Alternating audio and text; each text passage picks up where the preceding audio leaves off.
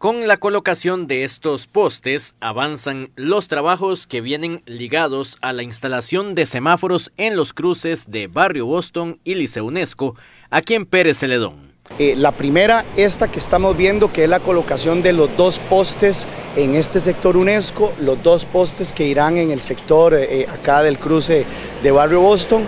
Posterior a eso, este, bueno, ellos dejan la previsión de la cometida eléctrica. Posterior a eso, una vez que lleguen los semáforos, junto con el cableado eléctrico, ya entra la Dirección General de Ingeniería de Tránsito, que a ellos les corresponde la colocación de los semáforos, la programación de los semáforos y, el mantenimiento sucesivo como tenemos pues en todas las partes del cantón donde tenemos este semáforos. Después de la instalación de los postes, se avanzará con otras obras complementarias a la espera de la llegada de los aparatos.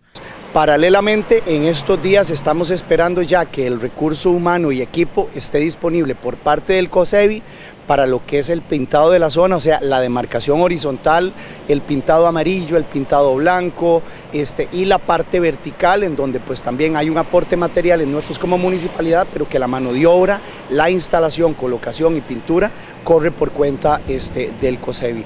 Paralelamente falta sumar un aspecto eh, en los alrededores acá que tiene que ver con las mejoras de las aceras en las partes este, cercanas este, que estén sobre ruta cantonal, ¿verdad? Los, eh, las aproximaciones, que también eso correrá por cuenta de nuestra municipalidad. Se esperaría que dentro de las próximas cuatro semanas los aparatos ingresen al país. Los semáforos quizás los veremos en un plazo de no menos quizás de un mes, todavía están en plazo de entrega, son equipos importados y a partir de eso pues quizás veremos ya eso. Eh, esperamos que en ese trance, como les decía anteriormente, pues eh, podamos ver lo que es demarcación vertical este, y horizontal. Yo creo que luego de, tantos años de espera, eh, don Johan, que dichosamente el año pasado ya con la emisión del informe por parte de la DGIT fue que pudimos accionar este, ya este proyecto articulado entre las tres instituciones.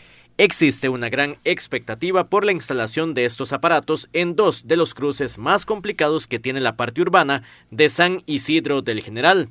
A hoy de manera estricta está cercano al mes la entrega, el plazo de entrega de lo que son este, los semáforos. Bueno, usualmente los proveedores en esto siempre tiran un margen, un colchoncito ahí en, para lo que son entregas, sabiendo que inclusive ya habían tenido una prórroga porque ha habido problemas de importación de ese tipo de equipos, pero estaríamos cercano al mes, que esperamos en ese mes pues estar con la demarcación horizontal, vertical, este, y, y, luego ya el ingreso de la DGIT para, a partir de la cometida eléctrica que queda prevista, la colocación de la cablería y cada uno de los equipos semáforos en estos puntos. Desde ahora, las autoridades recuerdan la importancia de la adaptación de los conductores a los semáforos en estos dos puntos. Eso es importante, por eso la demarcación, la costumbre, no solo, bueno, de forma inmediata los que vivimos en nuestro cantón, pero sabemos que esto es una ruta interamericana, nuestra ruta 2, ¿verdad? Entonces es mucha la gente que transita hacia y desde nuestra zona, sea provincia de San José o sea hacia la zona sur, así que